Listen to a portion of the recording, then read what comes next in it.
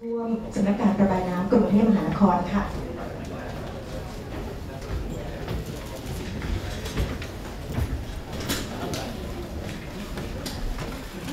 กรุงเทพมหานครก็ยินดีต้อนรับท่านมีสิทธิ์นะครับที่คอยสั่งการนะให้เวลาปีหนึ่งปีสองถ้าน้ำท่วมผมก็จะมาที่นี่ก่อนเพื่อมาดูบรรยายสรุปมีน้ำที่ไหนแล้วก็สั่งการ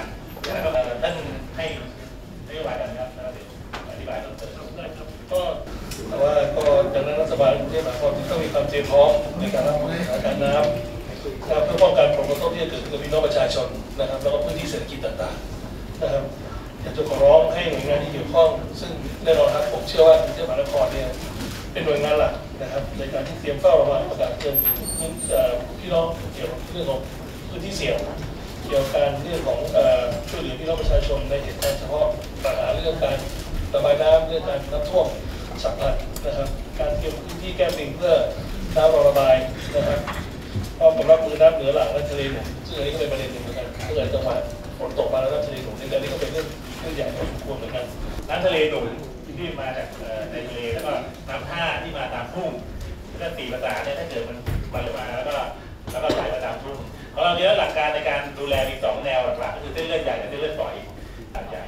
อันนี้เราขุดลอกอุโมงค์ระบายน้ำเพิ่มเป็นไม่การโปรเจกต์ส่วนเส้นเลือดฝอยคือท่อระบายน้ำก็มีอยู่น่าจะ 6,000 กิโลเมตรคนแรงงานไม่พอเลยครับตอนนี้ก็ต้องพยายามเอาเอกชนมาช่วยกันงั้นเดี๋ยวขออนุญาตบรรยายสรุปสัก5นาทีครับขอเชิญท่านายน้ำท่านสุราชนะว่าสถานการณ์น้ำฝนเป็นอย่างไรของปีนี้นะครับ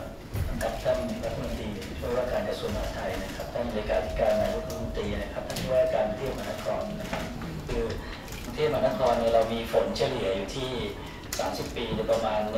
1,700 มิลนะครับ แล้วก็ในปีในปี 2565 เนี่ยตกมาประมาณ 2,355 มิล ซึ่งมากกว่าค่าปกติไปประมาณ 40%นะครับ แล้วก็ปัญหาที่เรา พบอยู่ตอนนี้ก็คือเรื่องการระบายน้ำในคลองเปรมประชากร ซึ่งก็มีการก่อสร้างขึ้นในไปในทุกทิศทางเพื่อแก้ไขปัญหาในพื้นที่ดอนเมืองครับขอสไลด์ต่อไปเลยครับรับมือน้ำฝนนะครับว่าจะมีอยู่3มาตรการคือก่อนรองรับน้ำฝนนี่ก็จะมีการควบคุมระดับน้ำในคลองเตรียมชนในในทันท่วงทีครับขอสไลด์ต่อไปเลยครับครับ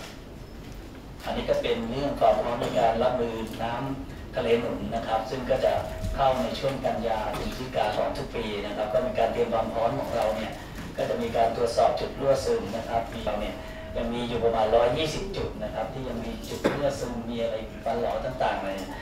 วันนี้ดำเนินการไปแล้วประมาณ 64 แห่งก็ประมาณสัก 50%นะครับ ส่วนที่เหลือก็อยู่ระหว่างดำเนินการครับสไลด์ต่อไปเลยครับ มีข้อมูลในจุดอ่อนน้ำท่วมมีการแก้ปัญหาอย่างไรนะครับ แล้วก็ ในส่วนของ 737 เนี่ย เราได้ดำเนินการไปแล้วในประมาณ 38%นะที่เราไปกันมาแล้วผมจำได้ไหมท่านท่านท่านรองเลยนะเราไปเราตอนนั้นนิดเดียวเลยน้ำไหลเข้ามาหมด เด็กเกิดต้องอมช่วยกันเยอะหมดเลยตรงนี้เนี่ย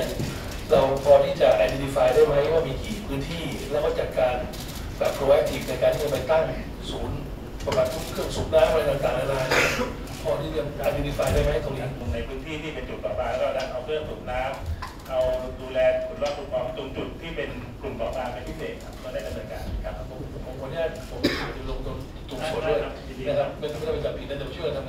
ช่วยกันดูแลนะครับท่านท่านรองเลขาลงด้วยนะครับขอบคุณครับที่นี่เลยที่นี่เลยครับที่นี่เลยครับพอระบาดไปไทยไหลทางที่วันเกิดมาในการบำบัดน้ำเสียของกรุงเทพมหานครนะครับ ตั้งแต่ปี 2525 จนถึงปี พศ 2554 นะครับ เราสามารถเข้าไปสืบค้นได้นะครับว่ามีอะไรบ้างมีหลายโครงการสร้างก็จะเป็นไทม์ไลน์ในแต่ละปี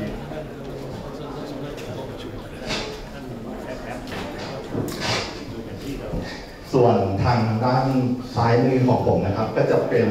โครงการอันเนื่องมาจากพระราชดำริของพระองค์ท่านนะครับ ที่กรุงเทพมหานครน้อมนำมาเป็นโครงการเกี่ยวกับการป้องกันน้ำท่วมและการบำบัดน้ำเสียระยะเริ่มต้นนะครับ ตั้งแต่การบำบัดน้ำเสียในบึงมัจจสักพระรามเก้านะครับ ตั้งแต่ใช้ผักตบชวายังมาใช้หันน้ำเรื่องหัวใจก่อนขออนุญาต นำเสนอในห้องศูนย์ควบคุมระบบป้องกันน้ำท่วมกรุงเทพมหานครครับเอ่อกรุงเทพมหานครเนี่ยมีเรดาร์ตรวจอากาศครับด้านด้านด้านทางด้านซ้ายมือนะครับเป็นทวีวัฒนานะครับรัศมีการตรวจวัดเนี่ย120 กิโลเมตรนะครับตรวจวัดฝนที่มาทางตะวันตกตั้งแต่ตั้งแต่จังหวัดราชบุรีเลยนะครับเรดาร์เราตรวจวัดถึงทางแถวปากช่องนะครับจังหวัดนครราชสีมาเลยนะครับเห็นว่ามีกลุ่มฝนเข้ามาหรือเปล่านะครับ นอกจากนี้เราก็จะมีการดูเรื่องของฝนล่วงหน้า 3 ชั่วโมงนะครับเรดาร์ของเราเนี่ยจะตรวจวัดเป็นเป็น real time นะครับแล้วอีก 3 ชั่วโมงข้างหน้าเนี่ยก็จะเคลื่อนไปที่นครราชสีมานะแถวๆอ่าปากช่องนะครับ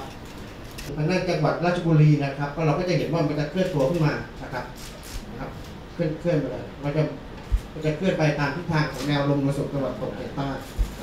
นะครับประชาชนสามารถเข้าไปดูได้เลยนะครับอ่า นอกจากนี้เราก็จะมีตัวตรวจวัดปริมาณอ่าผังบริหารจัดการน้ำในกรุงเทพมหานครนะครับคลองประมาณสัก 900 กว่าคลองเนี่ยเราก็จำลองเอามาไว้บนบนแผนที่นะครับ เราก็สามารถควบคุมนะครับแถวแถวๆถนนสงขลานะครับ ลงมาขอบเป็นประชากรแถวตรงบางมองตรงคลองบางตลาด แล้วก็ลงมาที่ตรงวัดเสมียนวัดเทวสุนทรเลย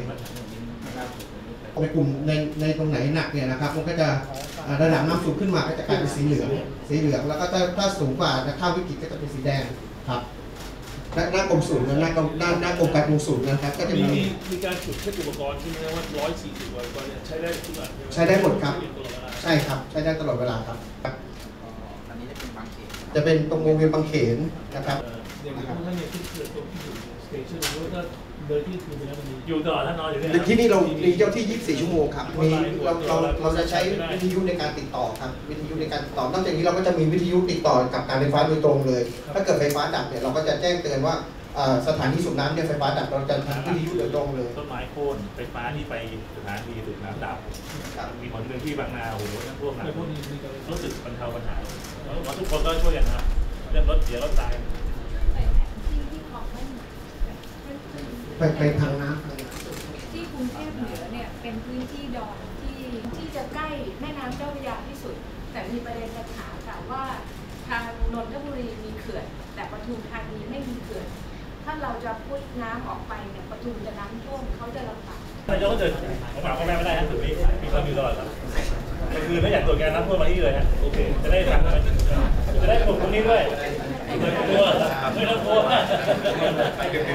ถ้าหนักฝนตกหนักมาเลยครับซึ่งผมไม่กินด้วยที่แต่งตัวเรียบร้อยนะครับ